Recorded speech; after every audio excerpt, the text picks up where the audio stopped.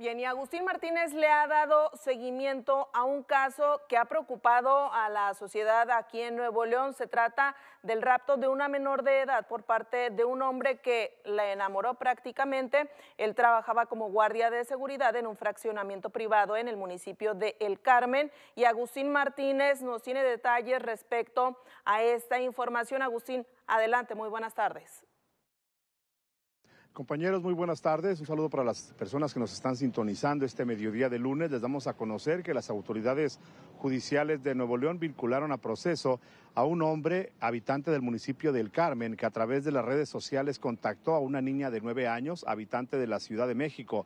Él viajó hacia aquel lugar, de alguna forma logró eh, de alguna forma engañarla, eh, también de alguna forma también bueno, pues lograr que atraer su atención, la sedujo y finalmente la raptó, trayéndola acá a las afueras de la zona metropolitana de Monterrey, a un domicilio, al domicilio del propio investigado en el municipio del Carmen. Allí presuntamente cometió abuso sexual en contra de la niña. Él, este sujeto de 42 años de edad y quien se desempeñaba como vigilante en la propia colonia donde radica, eh, bueno, pues viajó a la Ciudad de México a principios de septiembre y de alguna forma logró contactar a la menor en la alcaldía de Coyo para traerla hacia esta ciudad y cometer abuso sexual. Se trata de José Ricardo N., 42 años de edad, habitante de la colonia privada Los Prados, segundo sector, en el municipio del Carmen. Este sujeto enfrenta los delitos de rapto, corrupción de menores y equiparable a la violación, la desaparición y reporte de búsqueda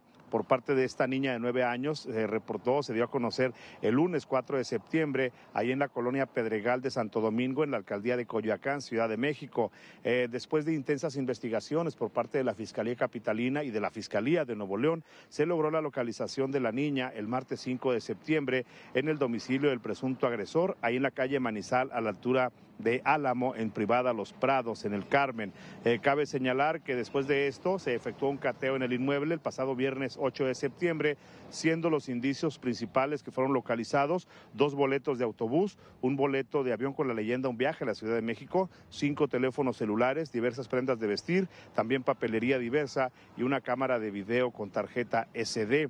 Cabe señalar que el 9 de septiembre, eh, hace apenas eh, un día, bueno, dos días más bien, este sujeto fue vinculado a proceso por los delitos ya mencionados. Se impuso medida cautelar de prisión preventiva, tanto oficiosa como justificada, además de que el juez fijó plazo de tres meses para el cierre de la investigación complementaria. En serios problemas con la justicia se encuentra este sujeto, José Ricardo, a decir de los vecinos, era una persona aparentemente tranquila, eh, quien se sostenía por medio del pago que recibía como vigilante o velador de su colonia eh, semiprivada en el municipio del Carmen. Los vecinos aportaban o aportan una cuota de 50 pesos por semana y de ahí, bueno, pues eh, se les paga a los vigilantes, en este caso a este hombre de 42 años que finalmente se encuentra ya en un reclusorio estatal, esperando pues que se defina también su situación en las próximas semanas o meses. Vamos a escuchar a una vecina habitante de aquel sector con respecto a la captura de este sospechoso.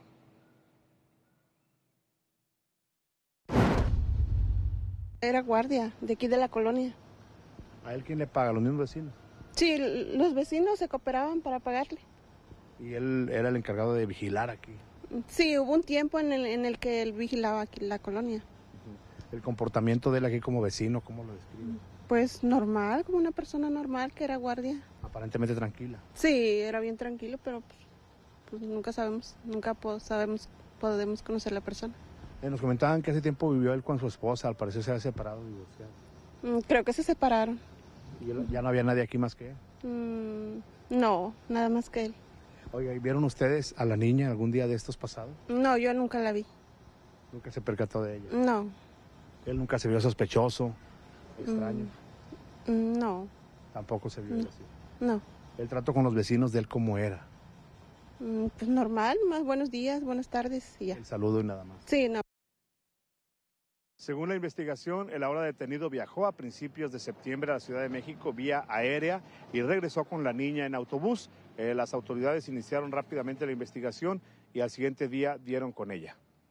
Agustín, nos está llegando información precisamente en seguimiento a este caso que la menor está en el DIF Capullos, aquí en el estado de Nuevo León, y de acuerdo a las entrevistas que se le han practicado los exámenes a esta menor, se ha informado que hay indicios de que la niña de nueve años, pues padece maltrato en el seno familiar y bueno, pues esta instancia le está dando protección y va a ampliar la indagatoria en su ámbito de competencia. También preguntarte, Agustín, ¿este sujeto tenía antecedentes? Si ya era una conducta que pues replicaba en alguna otra ocasión.